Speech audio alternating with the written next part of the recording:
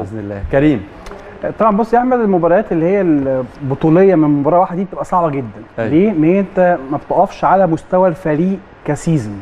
صعب أنت بتتكلم على إن اللعيبة ممكن مثلا زي مثلا المثل اللي معانا نهضة بركان نهضة بركان السنة دي فريق مختلف تماما عن الفريق اللي إحنا شفنا نسخته قدام بيراميدز والفريق كمان اللي إحنا شفنا نسخته قدام الزمالك. نادي الزمالك الفرقة رغم رغم إن الفريق محافظ على 80% قوام من الفريق. القوام الرئيسي له لكن أنا مشكلتي في الماتشات دي إن اللعيبة اللي بينزلوا قدامنا قدام النادي الأهلي بيبقوا عارفين إن العالم العربي والعالم الأفريقي كله ودولة كبيرة زي دولة مصر مهتمة بالمباراة دي فبينزلوا بأقصى أقصى جهد عندهم.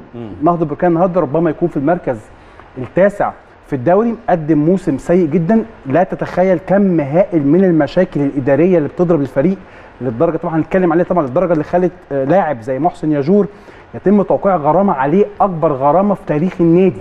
بنتكلم آه، 35 ألف دولار يعني حوالي مليون جنيه آه، نص مليون جنيه مصري. وحصلت مشاكل وحتى هو في المباريات الأخيرة كان في كذا مباراة قاعد على الدكة ما لعبش أساسي. أيوه. فلك أنت تتخيل إن كل الظروف دي ما أقدرش أنا أحطها في الحسبان في ماتش يوم الجمعة. الجمعة. ماتش يوم الجمعة ده سيناريو تاني خالص حاجة تانية خالص. اللعيبة كمان هناك في نهضة بركان زي ما أنت اتفضلت قلت في ال intro أعمارهم كبيرة فدي آخر فرصة ليهم عايزين يسطروا تاريخ ليهم. محسن ياجور نفسه عنده أرقام قياسية نفسه يطورها. وحتى برضو زهير العروبي حارس المرمى برضو عنده بعض الارقام القياسيه عايز يحققها. فبالتالي لازم نبص للمباراة دي إنها مباراة لو- لوحدها بعيدا عن موقف فريق نهضة بركان. وإن شاء الله تكلل بالنجاح للنادي الأهلي في النهاية.